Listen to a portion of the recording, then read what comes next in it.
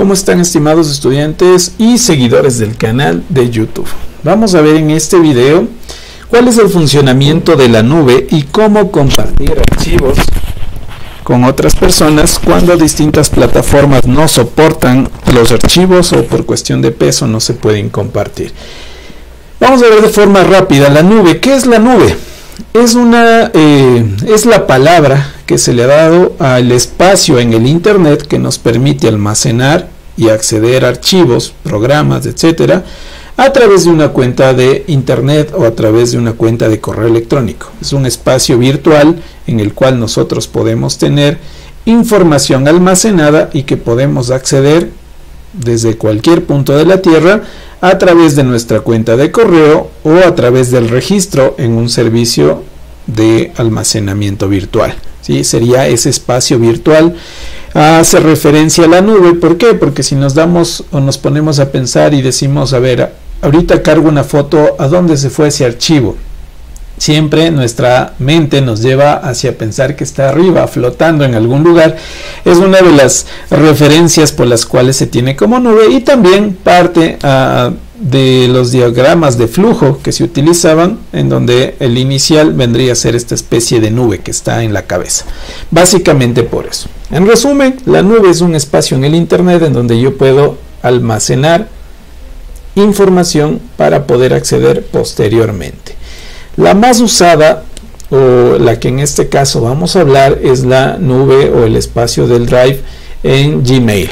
Gmail es una un proveedor de cuentas de correo electrónico gratuito y el cual es uno o nos brinda ¿sí? las mayores ventajas hasta el momento, dándonos 15 gigas de almacenamiento de forma gratuita, que es escalable, si necesitamos más podemos ya contratar un plan mucho más alto, pero a nivel de estudiante, a nivel básico, los 15 gigas está bastante bien o bastante bueno para poder trabajar. ¿Qué necesitamos para acceder a nuestra nube de Gmail? Tres pasos muy sencillos. El primero, crear una cuenta de Gmail. Una vez creada la cuenta, ingresamos, damos clic en el icono de los nueve puntos que está junto a la imagen o las iniciales de nuestra cuenta. Y número tres, acceder ya a la opción de Drive. Para eso vamos a hacer justamente el ejemplo. Si estoy en mi navegador, me voy a mi Gmail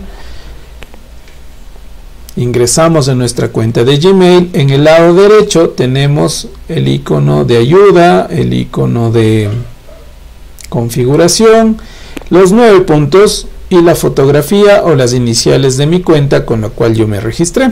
En este caso vamos a ingresar al icono de los nueve puntos. Cuando le doy clic en el icono de los nueve puntos me aparecen varias opciones que las estaremos viendo más adelante, pero hoy vamos a centrarnos en la opción del Drive le doy clic en Drive y me lleva a un espacio en la nube que vendría a ser como mi memoria USB virtual en la cual yo puedo almacenar cualquier cantidad de información, la que yo necesite. Recordemos que los archivos .exe, que son instaladores, ejecutables, generalmente los suele reconocer como virus y no nos permite cargar. ¿Cómo cargamos esos archivos? Lo podremos ver en un video posterior a este. Hoy nos vamos a centrar en la parte básica. Muy bien, en esta cuenta, como ustedes pueden ver, ya tengo creados o subidos varios archivos que eh, hemos creado y también varias carpetas. Pero generalmente, si ingreso la primera vez, va a estar vacío. Va a ser una, una pantalla en blanco que está completamente vacío. Ahora, ¿Cómo creo yo una carpeta? Siempre es recomendable crear carpetas por cuestión de orden. Ya, le doy clic derecho y pongo nueva carpeta. O new folder si es que está su máquina en inglés. Una vez que le doy clic ahí, me pide que ponga un nombre y le pongo carpeta prueba. Crear y ya tengo mi carpeta prueba. Si le doy doble clic voy a ingresar y está completamente vacía. Otra opción que tengo aquí en la parte superior yo puedo regresarme a, mi raíz ¿sí? o puedo para volver a ingresar a otra carpeta. Otra opción que tengo para crear carpetas dentro de mi Drive es irme en el lado izquierdo superior a esta cruz con los colores primarios o los colores que forman la parte corporativa de Gmail y le doy clic en New o en Nuevo y escojo la opción que dice Folder o Carpeta. Y pongo ahí carpeta ejemplo 2. ¿Sí? Es solo un, un ejemplo. Tengo ya mis dos carpetas, carpeta ejemplo 2, carpeta prueba abro la carpeta y voy a cargar archivos. ¿Cómo almaceno los archivos? En realidad el proceso es muy sencillo. Es solo cuestión de abrir mi carpeta donde tengo mis archivos. Vamos a abrir, se nos cerró por acá, mil disculpas. Ya, abro mi carpeta y busco ¿sí? la información que necesito. En este caso si tengo este video lo voy a cargar para acá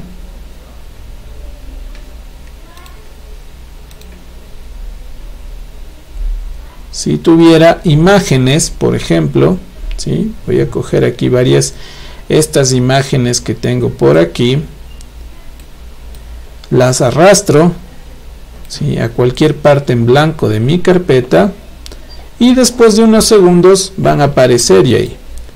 A estas imágenes y a este video, si tiene el icono de una claqueta, yo puedo acceder desde cualquier parte del mundo mientras pueda acceder a mi correo electrónico.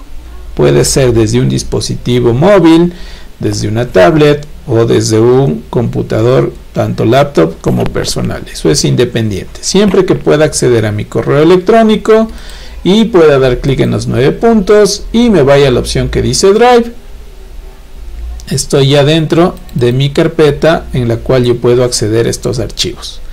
Ahora, ¿cómo comparto estos archivos con las personas? Tengo dos opciones. Si quiero compartir únicamente de todos estos archivos que tengo aquí, quiero compartir el video, le doy clic derecho en el video y me voy al cuarto icono que dice Get Link o obtener enlace el icono, eh, dependiendo del idioma, ¿sí? puede decir o estar escrito de otra manera, pero el icono va a ser siempre el mismo, que es el icono de un eslabón, de una cadena, o el conocido como enlace. ¿ya? Entonces siempre va a ser el cuarto icono y va a tener este icono de una cadena. Le doy clic ahí, Get Link, y este enlace largo, esta dirección larga, es la que debería compartir con las personas que están eh, accediendo al archivo.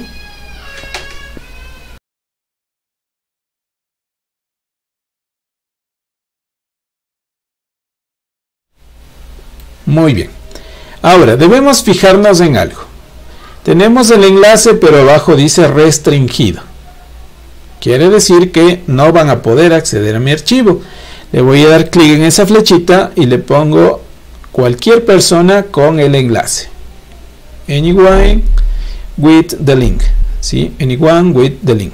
No sé si la pronunciación está bien. Estaremos mejorando en esa pronunciación. Le doy clic ahí significa cualquier persona que tenga el enlace va a poder acceder a ese archivo. Ya se me pinta de verde arriba el enlace y le doy clic en esta palabrita que dice copy link. Me voy a una conversación de WhatsApp, me voy a un correo electrónico, como sea que me esté comunicando con las personas y les doy el enlace. Cuando las personas dan clic en el enlace, van a tener acceso a poder observar el video que habíamos creado.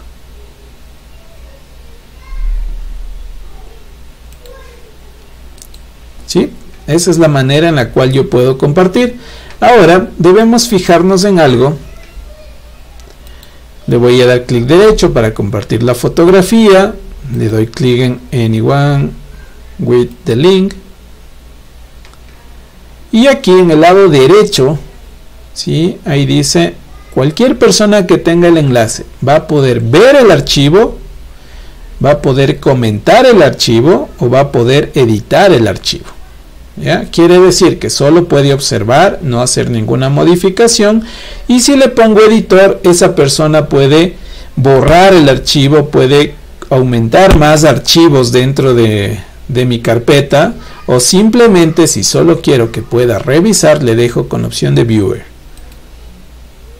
le pongo down y está listo esta es la manera de compartir un archivo a la vez ¿qué pasaría si quiero compartir toda la carpeta?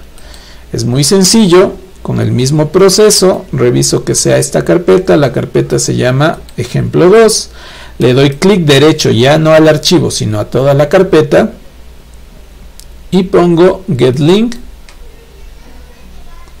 Le cambio la opción de restringido por cualquiera que tenga el enlace y aquí las mismas opciones. Si yo quiero que puedan solo observar los archivos que están en la carpeta le pongo en viewer y solo van a poder ver, no van a poder borrar, no van a poder añadir, no van a poder hacer nada más. Pero si quiero que en esta carpeta otra persona cargue archivos o que de pronto pueda eliminar algún archivo duplicado, más cuando estoy trabajando en grupo, le doy la opción de editor.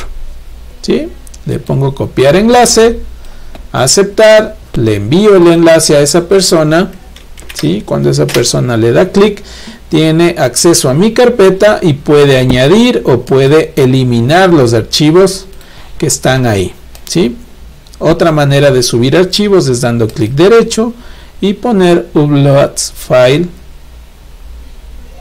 upload files y escoge los archivos directamente desde el computador. Espero que el video haya sido lo suficientemente claro y que podamos sacarle provecho al espacio de almacenamiento conocido como nube. Eso es todo. Muchas gracias.